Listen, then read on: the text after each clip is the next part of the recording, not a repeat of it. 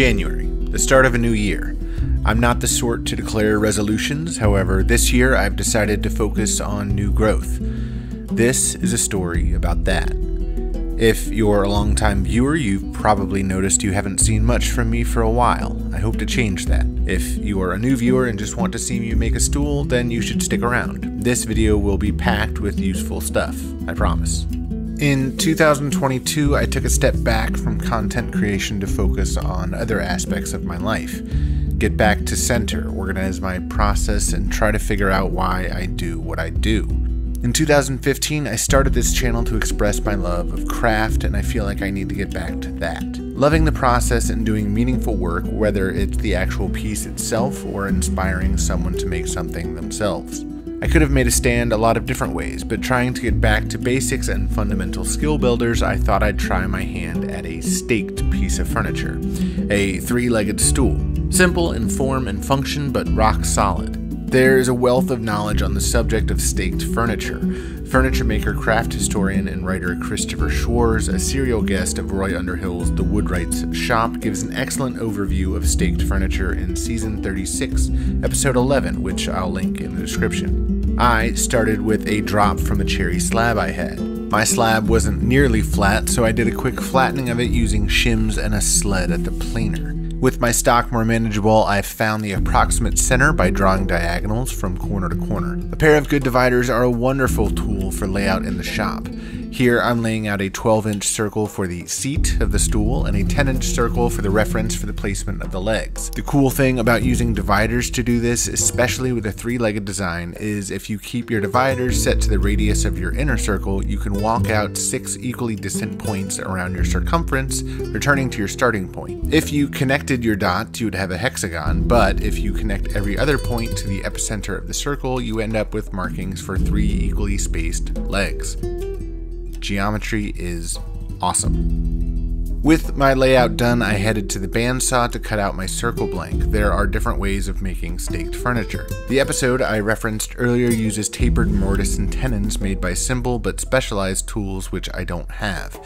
So I'm using the lathe and a drill press. To mount the blank to the lathe, I use a wormwood screw mounted in the chuck, so I drill a 5 16 inch pilot hole at the center, then screw the blank onto the screw in the chuck.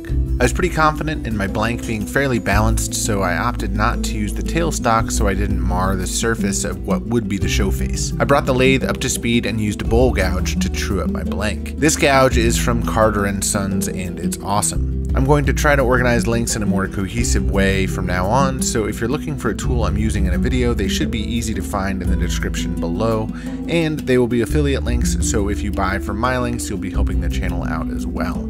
With the seat round, it was time to make the angled mortises. Traditionally, this would have been done with a hand brace and bit using sight lines and bevel gauges, then using a reamer to taper the mortise. I wouldn't be tapering my mortises because I don't have a reamer, but I do have a drill press, and instead of messing with tilting the table, I find stacking scrap against a fence an easy solution for drilling at an angle. Here, my mortises will be at about 5 degrees, giving my legs stability. I've had this drill press since I was engaged.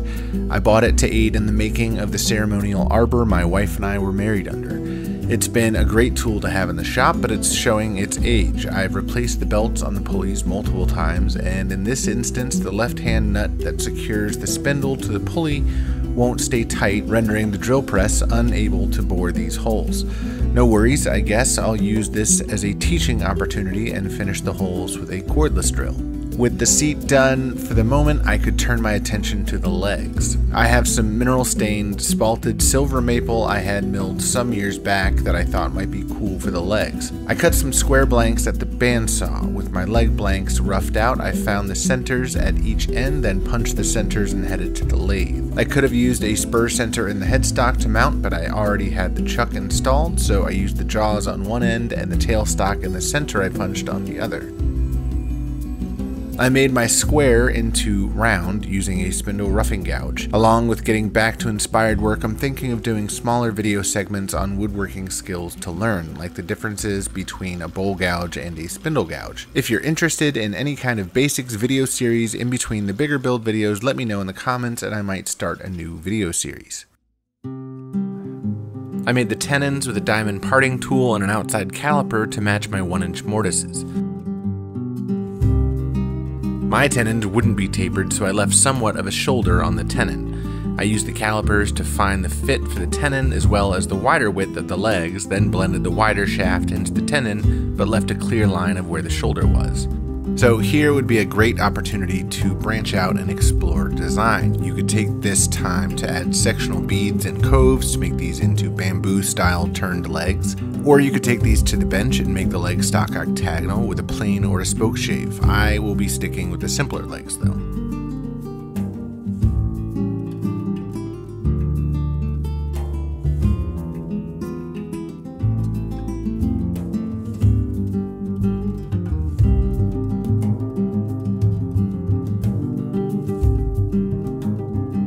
Put a small chamfer at the ends of the tenon just to help the tenons into the mortises.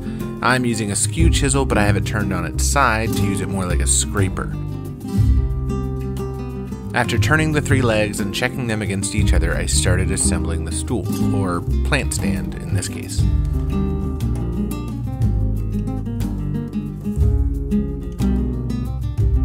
To secure the tenons into the mortises, I wanted to wedge the tenon, so I cut a kerf in the end of the tenon at the bandsaw.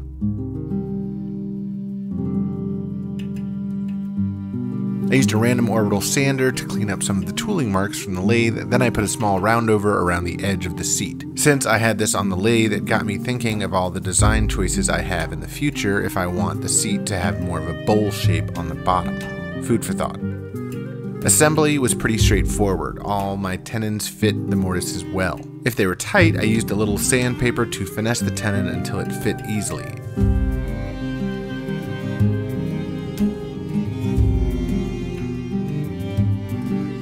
Admittedly, I was in sort of a rush to meet the holiday deadline, and I should have taken more time to match the width of the wedges I made to the width of the tenon. Functionally, they work but there will be small gaps at either side, though it doesn't really bother me too much. Oh, and I should point out I am driving the wedges perpendicular to the grain direction to avoid splitting the entire seat, much in the same way you can use a wedge to split firewood. Now, here is an easy way to make sure your seat sits level to the floor. Place the piece of furniture on the bench and put a level on the seat. Use wedges or shims under the feet until the bubble reads level in all directions.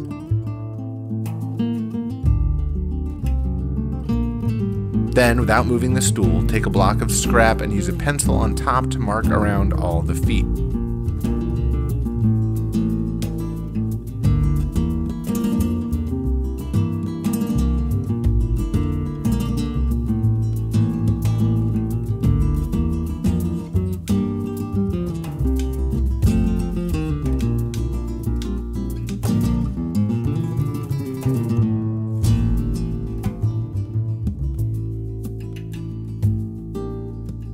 After the glue dried, I flushed the top of the legs with a handsaw. Do watch out, these saws are really sharp and I shouldn't have had my left hand where it was. I could have easily cut my thumb pretty bad because I was rushing to get it done. Do as I say, not as I do. I'm fine, by the way.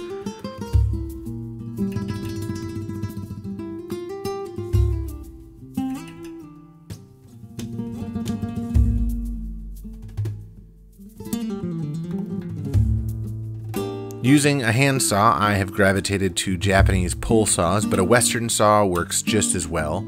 Carefully follow your line, much like cutting dovetails, where you're paying attention to the top of the cut as well as the face of the cut, and follow your pencil line around the cut, letting the saw do the work.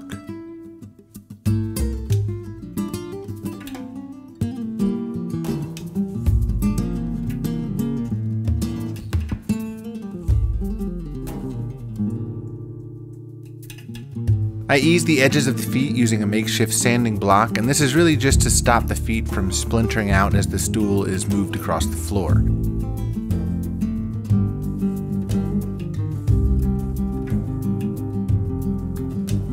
Final sanding, then it was time for finish. I just found this product and it's really cool. They're called Maker's Stain Pads. They are available on Amazon, but more importantly, they are a family owned small business. They are cut to size application pads for finishes. The outside is microfiber cloth, but the inside has a foam core. They seem to retain finish without overloading the applicator. A pretty clever design, and I always love buying from other small businesses, and these work really well. Give them a try. Again, I'll put links in the description. Since I would be using this as a plant stand, I decided to go with TotalBoat's Lust Marine Varnish for added protection from any moisture that might get on it. So, there you have it a new video for the new year focused on new skills for my 2023 theme of new growth. I implore you to give something like this a try.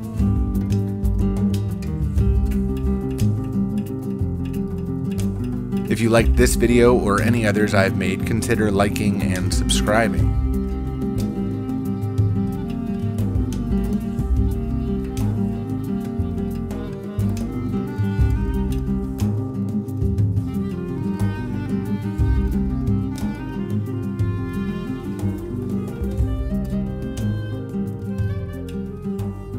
This is my first staked furniture piece I've ever made, but I kind of like it.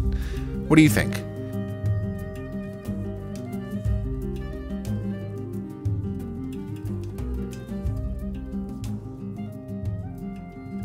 And as always, thanks for watching.